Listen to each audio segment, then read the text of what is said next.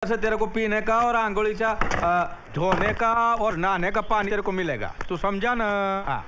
ये तो बहुत गहरा है। हाँ। तो नीचे जाकर नहाने का ज़रूरत नहीं है बाल्टी से पानी बाहर निकालो कर इधर नहाने का।